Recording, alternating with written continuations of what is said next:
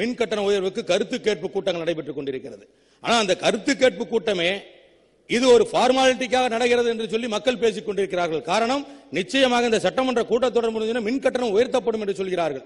இதையெல்லாம் இந்த அவையிலே பேசினால் எங்களை எல்லோரும் சாடுகிறீர்கள். உள்ளாட்சி தேர்தலை முடித்துவிட்டு அதன் பின்னர் பேருந்து கட்டணத்தை உயர்த்தினீர்கள் அதன் பின்னர் பால் விலையை உயர்த்தினீர்கள் முன்னதாக செய்திருந்தால் தெரிந்திருக்கும் என்று சவால் விடும் துணியில் பேசினார்.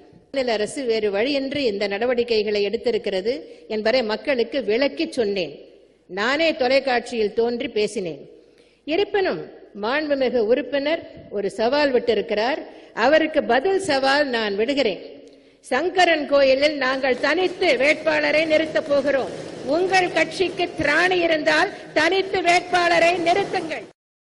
இன்னைக்கு வந்துட்டு நான் சங்கரம் கொள்ளை ஜெயிப்பேன் ஜெயிப்பேன் சவால் விடுறது ஆளுங்கட்சியா இருந்தா கலைஞரை சொன்னா போன தடவை எப்படி ஜெயிச்சாருன்னு அவங்களுக்கு தெரியும்.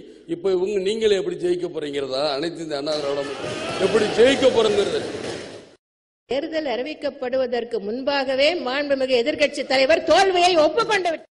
தோல்வியை ஒப்புத்துக்கல. கேட்டதுக்கு மட்டும்தான் பதில்.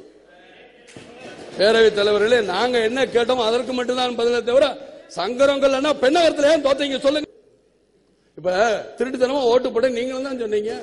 நீங்களும் தான் அந்த இதுல வந்து இருங்க எலக்ட்ரானிக்கல் சொல்லி முடிச்சிடுறேன். அப்புறம் நீங்க பேசுங்க. எலக்ட்ரானிக்கல் ஓட்டுல தவறுன்னு எல்லாரும் தான் கோர்ட்டுக்கு போனோம்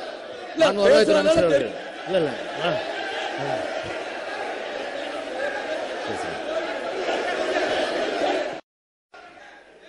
மாண்புமிகு பேச இங்க.